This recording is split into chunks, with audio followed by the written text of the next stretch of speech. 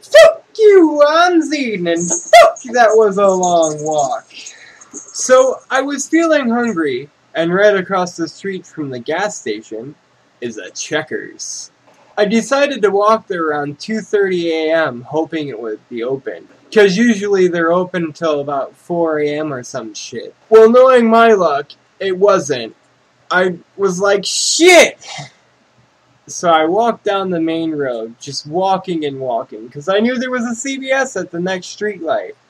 I walked a mile or two by that point, and just like my luck, the motherfucker was closed too. So I had to walk all the way back, just walking and walking and walking.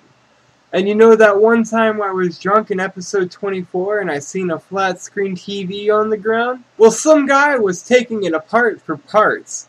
And as I walked by on the way home, I offered a smoke. He sure didn't he sure didn't mind chatting it up. He looked about 25 to his 28 or something like that. Not sure which.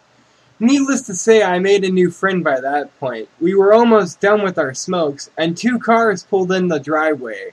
Turned out he knew them. And the way he met one of them was pretty cool. As he told me, he just kind of woke up there on their couch. I asked, Did you break in or something? He was like, Well, I just kind of woke up there, you know? Anyway, that's one way to make friends or get arrested. The point of the story is adventures are fun and you never know what just might happen.